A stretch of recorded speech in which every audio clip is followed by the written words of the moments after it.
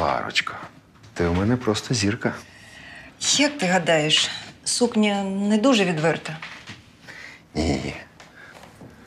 Вона мені подобається. Але ж я тебе не залишу саму ні на секунду, бо вкрадуть. Ти готова? Так, можемо йти. Добре. Квітки у тебе? Так. Боже, квитки. Дякую, що нагадала, на столі забув. Поквапся.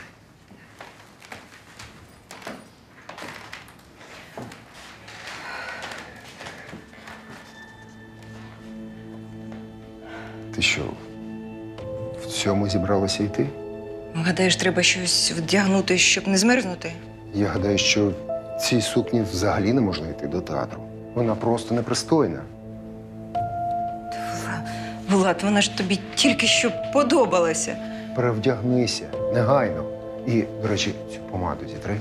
Вона дуже жахлива.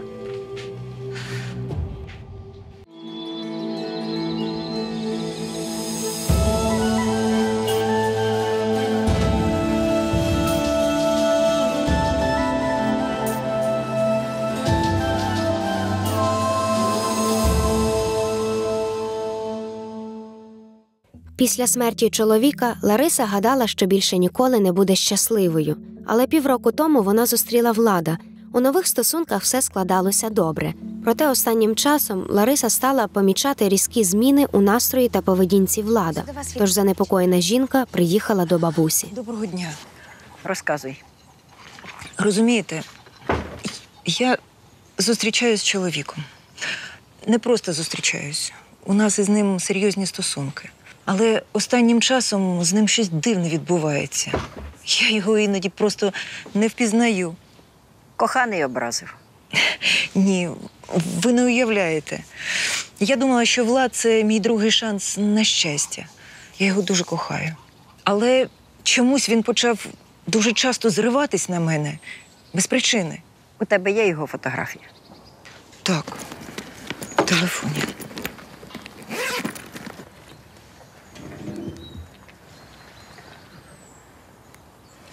Ось.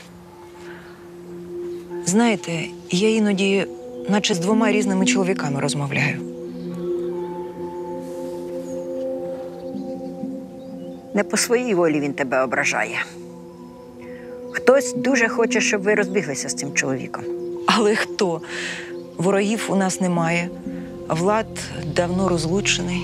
Хто саме не бачу. Але точно знаю, ворожіння зроблено на якусь особисту річ влада, яку той дуже часто носить. Ти маєш знайти її і принести мені. Та це ж може бути що завгодно: сорочки, костюми, взуття. Ні, це не одяг. Це якась коштовна річ. Шукай. Повернувшись додому, Лариса із нетерпінням чекала на влада, якого запросили на вечерю. Жінка все намагалася зрозуміти, про яку саме річ казала бабуся. Її роздуми перервала поява доньки. Сідай вечеряти. Я не буду, я тільки з тренування. Ти зі своїм фітнесом скоро за шваброю будеш ховатися. Давай поїж. Тут індичка, салат. А ти їсти не будеш? Я влада почекаю. Він що, знову припреться? Ну, що означає припреться? Як ти так можеш? І взагалі-то Влад скоро приїде до нас жити. Чудово. Оце так новина. Мамуля, ти у мене спочатку запитати не хотіла? Це і мій дім також. Добре, запитую. Доця, ти не проти, якщо твоя ще не стара мама вийде заміж за хорошого чоловіка і буде щасливою. Якщо ти про цього, то він не хороший. І я не хочу, щоб він сюди переїжджав. Але чому? Бо цю квартиру нам татко купив, і ми тут разом жили. Інна, татка вже три роки немає. Два роки і сім місяців. Звичайно, Влад не замінить тобі батька. Я й не хочу, щоб він це робив. Але ти мене зрозумій. Я все одно не хочу, щоб він тут жив. І хай більше не вдягає сині капці. Вони татові. Господи, де я куплю йому нові капці? Якщо в цьому проблема. Це не допоможе. Яка ти егоїстка? Я ж не заважаю твоїм стосункам з Павлом. Не забороняю йому тут ночувати. До речі, твій Павло з Владом цілком нормально спілкуються. Якщо чесно, Павло Влад також не подобається. Просто він не показує цього. Он як? Це Влад. Будь ласка, поводься нормально.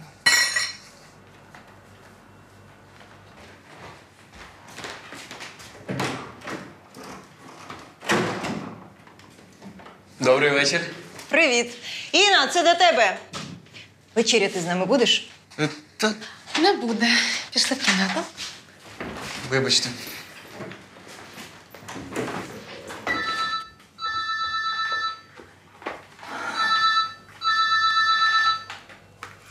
Так, Владушка. Сонечко, в мене такий завал сьогодні, тож я не приїду до тебе, добре? Але завтра я весь день твій. Лариса засмутилась через невдалий вечір. Із донькою посварилася, і влада не побачила. Але жінку втішало те, що завтра вони з коханим проведуть весь день разом. Наступного дня Лариса домовилася із владом поїхати разом за покупками. Але у назначеній годині він не з'явився і на дзвінки не відповідав. Лариса вже почала хвилюватися, і коли у двері подзвонили, сподівалася, що то прийшов влад. Привіт. Добрий день. А Іни вдома немає. Я знаю. Ми і замовлення на пошті забрали. Ось попросили занести, бо на фітнес побігли. Ясно. Кави, мабуть, чаю. Будеш? Да ні, дякую. Лариса Анатольовна, а що трапилось? Чого ви така засмучена? Та нічого страшного. З Владом домовлялися за покупками поїхати, а він не дзвонить. Ну так не проблема, я можу поїхати. Я сьогодні на машині. Дякую, але я не хочу тебе турбувати. Ні в якому разі. Я не дозволю такій тендітній жінці, як ви, тягати важкі сумки. Це справа справжніх чоловіків, так що поїхали. Ну, добре, умовив. Зараз сумку візьму. Добре. Ларисі було приємно, що в її доньки такий вихований і турботливий хлопець. Вона вирішила не ображати Павла відмовою, а з владом поговорити пізніше. Лариса та Павло швидко впоралися з покупками та повернулися із супермаркету у гарному настрої. Паш, я тобі так вдячна. Але в тебе, мабуть, купа своїх справ. Ти йди. Але обов'язково приходь до нас вечеряти. Дякую, але мої справи на сьогодні. Ось. М'ясо мають готувати справжні чоловіки, якщо з мене стейки. А що ж я буду робити? Відпочивати і не хвилюйтесь. Мені приємно про вас турбуватися.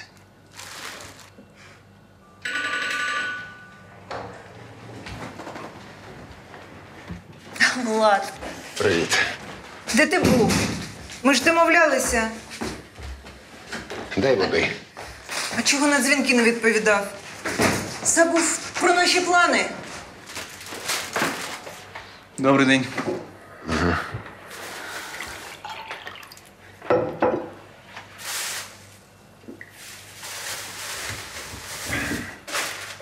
Не відповідав, значить, був зайнятий. Я, до речі, працюю, якщо ти не помітила. А чого без настрою? Щодень не задався. А я бачу, ти й сама непогано впоралася. Ти диви знайшла собі помічника молодого, перспективного. Ну, знаєш, якби Паша зі мною не поїхав, на вечерю не було б що готувати. Ну і добре. Тим паче на ніч їсти шкідливо, особливо в твої роки. Я ж про вас турбуюся. А не потрібно. Тим паче, в тебе це дуже погано виходить. Влада знову неначе підмінили. Він зірвався і нагрубив Ларисі без усілякої причини. Жінці було незручно, що Павло став свідком цієї неприємної сцени. Я, звісно, вибачаюсь. Це не моя справа, але. Але ви варті кращого чоловіка. Паш, ти вибач, але це дійсно не твоя справа. Невдовзі Лариса з Владом все ж помирилися, і незабаром чоловік переїхав до неї жити. Проте раптові зміни його настрою траплялися кілька разів на день. Лариса пам'ятала, що все це відбувається з владом через порчу, тому продовжувала шукати річ, про яку говорила бабуся. Побачивши серед речей влада годинник, Лариса замислилася. Річ була коштовна, і він часто його носив. Можливо, саме на годинника і було зроблено ворожіння. Лариса хотіла негайно все з'ясувати, тому поїхала на роботу до влада, щоб розпитати, звідки в нього той годинник. офісу. Можна мені зайти? Мені треба швидко зробити пару ксерокопій. А, вже поїхав. Ну так, звісно, не попередила. Добре, бувай до вечора.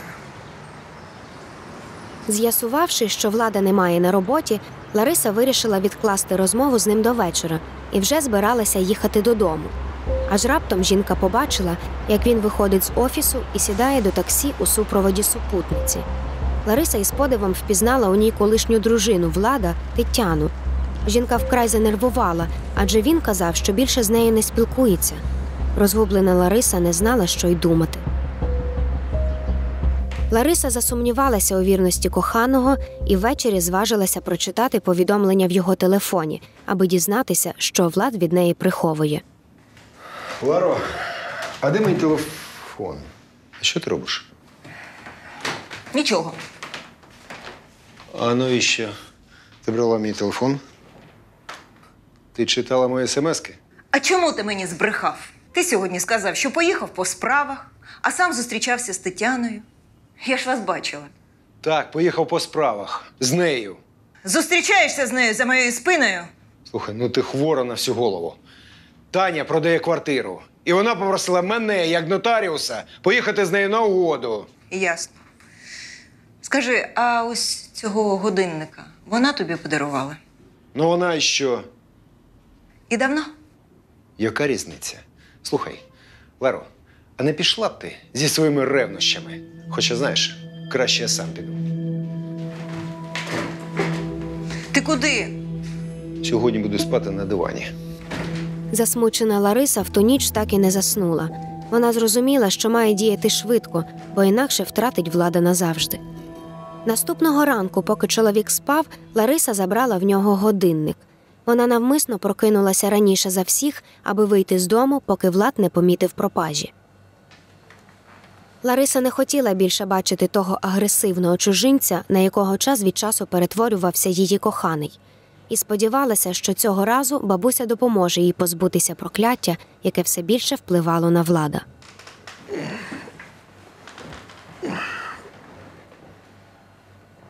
На дивані. Однак Ларисі не вдалося піти з дому непомітно, адже Влад теж прокинувся рано. І як не дивно, чоловік поводився так, ніби вчора нічого не сталося. Уявляєш, прокидаюся вранці, на дивані тебе поруч немає. А чому я сплю у вітальні? Ти знущаєшся. Він нічого не пам'ятаєш. Ні. Ой. А, а, потри мені, будь ласка, тут диван дуже незручний, спина вся болить. Ой. А, добре. Так, а що вчора було? А, зачекай, дай вгадаю. Я хропів, і ти мене вигнала в іншу кімнату, так? Ні. Ти просто довго дивився телевізор і заснув на дивані. А я вкрила тебе ковдрою. Моя такиця. Тільки давай домовимось. Наступного разу ти мене обов'язково розбудиш. Я не хочу спати окремо. А ми більше й не будемо. Я вже стараюся. Зараз мені треба бігти. Час вже. Вдалого дня. Пока.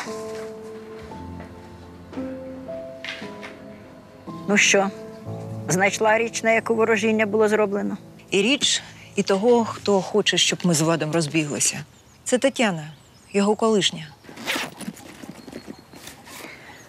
Влад зізнався, що цей годинник її подарунок. Катю, про три годинника вишитим рушником і дай мені.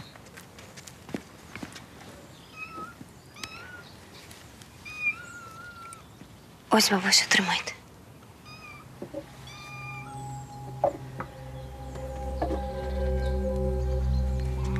Так, його подарувала йому колишня дружина.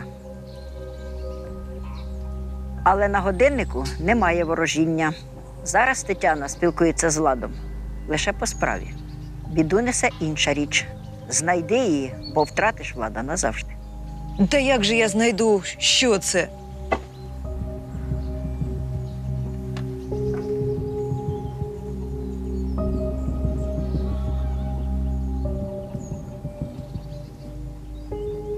Дам підказку.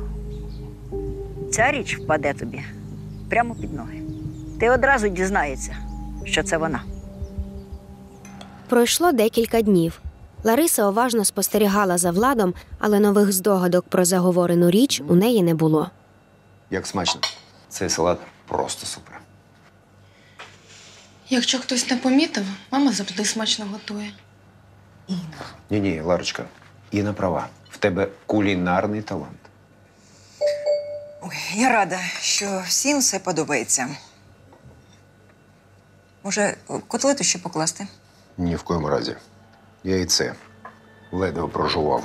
Ти хоча б в інтернеті подивилася, перш ніж їсти готувати, якщо сама не вмієш. Так не їж, якщо не подобається. Ніно. Влад, ти ж тільки що нахвалював. Тобі почулося. Це неможливо їсти. А пиріг? Навіщо ти його ще й вмовляєш? Як ти це взагалі терпиш? І, до речі, дітей ти теж не вмієш виховувати. Он бач, яка нахаба вирісла. Не смій так казати про мою дочку. Влад, стій! Наступного ранку Лариса з побоюванням чекала, який настрій у влада буде сьогодні. Вона розуміла, якщо їй не вдасться знайти заворожену річ, наступного разу влад може розлютитися вкрай і піти від неї назавжди. А може, давай сьогодні ввечері сходимо кудись. Пашку з Інкою з собою запросимо. М? Це було супер. Ой, ой, щось мені до ока потрапило. Зачекай, не три, я зараз подивлюся, бо ще покрасніє. Так. Слухай, я придумала. Давай поїдемо у той класний ресторанчик за містом. Пам'ятаєш? Пам'ятаю, як не пам'ятати. У нас там стільки грошей здерли. Але знаєш, краще заплатити, ніж їсти те, що ти готуєш. Ти знову. А що знову? Я взагалі не розумію, як з тобою твій колишній жив. Може, від того і помер, що отруївся?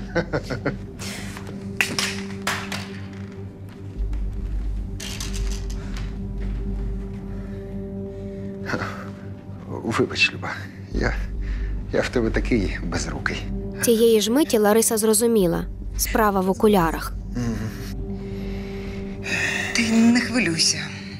Я завезу їх в ремонт. Лариса ледве стримувала радість. Нарешті вона знайшла саме ту річ, на яку було наведено порчу. Того ж дня Лариса відпросилася з роботи та поїхала до бабусі. Ось це окуляри, влада. Все сталося саме так, як ви і казали. Вони самі впали під ноги. Так, вірно. На них зроблено ворожіння, причому дуже сильне. В ніч місячного затемнення це сталося. Тому Влад і бачить тебе в чорному світлі, коли надягає окуляри. Але ж тепер все буде добре. Вони ж розбилися. Ні, це ще не кінець. Тобі треба знайти людину, яка хоче вас розлучити. Бо все повториться знову. Бачу, окуляри тримала рука молодої людини. Здається, я знаю, хто це. Це Інна, моя донька. Вона влада терпіти не може. Не бачу. Людина немов би ховає своє обличчя. Але зупинити її треба опівночі за повного місяця. Поспішай. Дякую. До побачення. Розлючена Лариса повернулася додому і, помітивши, що її донька на кухні заварює якісь страви, не стрималася. Знову ворожиш. Ти про що? Сама знаєш про що. Відворотне зілля вариш. Капець. Ма, це любисток, щоб волосся ополоснути після миття. Угу. Так я тобі і повірила. Тобі ж Влад не подобається. Ось ти й ворожиш, щоб він мене кинув. В тебе зовсім дах поїхав через влада. Як ти взагалі могла таке вигадати? Лариса дуже переживала через сварку з донькою. Натомість із Владом, який тепер носив нові окуляри, стосунки стали просто ідеальними. Однак вдень, коли настав повний місяць, вона згадала про попередження бабусі. Сонечко моє. А я тобі точно подобаюсь в цих окулярах? Ти справжня кінозірка. Це ти в мене зірка. Я тобі завжди так кажу.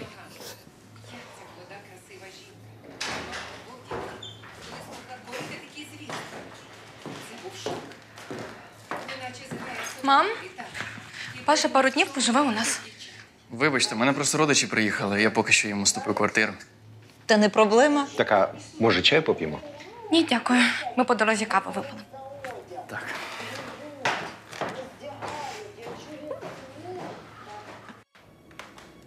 Тієї ночі Лариса ніяк не могла заснути. Весь час вона пригадувала слова бабусі, що все може повторитися, якщо за повного місяця не зупинити того, хто зробив ворожіння. Раптом жінка почула у темряві якийсь шурхіт. Лариса зробила вигляд, ніби спить, і побачила, як хтось крадькома пробрався до її кімнати, обережно узяв окуляри влада та швидко вийшов. Жінка мала намір негайно все з'ясувати.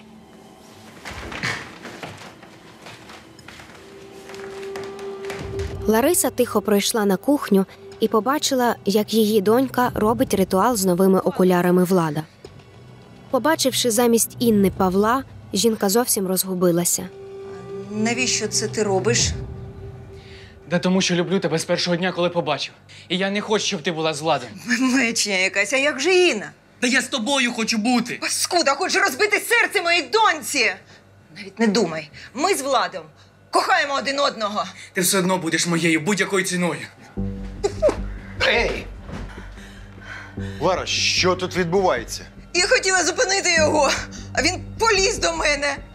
Паша, якого біса? Подивись, він тут робив ворожіння, щоб ми з тобою розійшлися. Це він псував наші стосунки. Що? Подивись, він твої окуляри воском заляпав. Ритуал робив. Да я не дозволю, щоб ви були разом. Вона буде моєю, поняв? Моєю! Слухай ти, придурок. Ану забрав свої речі і вали звідси, щоб я тебе не бачив більше. Зрозуміло? Та пішов ти. Придурок. За 10 хвилин Павло вже стояв у передпокої і прощався з Інною. Паш, скажи чесно, чому ти йдеш від мене? Ми більше не побачимось. Лариса та Влад нічого не розповіли Інні. Виявилося, що це Павло налаштував дівчину проти влада. Зрозумівши, що мати поруч з ним почувається щасливою, Інна прийняла її вибір і змінила своє ставлення до чоловіка. Лариса та Влад одружилися, а Інна згодом зустріла хорошого хлопця. Бабуся нагадує: особисті речі, які ви носите на собі щодня, наприклад, окуляри, є ідеальним засобом, щоб зробити за їх допомогою ворожіння. Не можна їх залишати без нагляду, а краще зберігати у місці, недоступному стороннім людям, адже ними може скористатися людина з недобрими намірами та навести на вас порчу.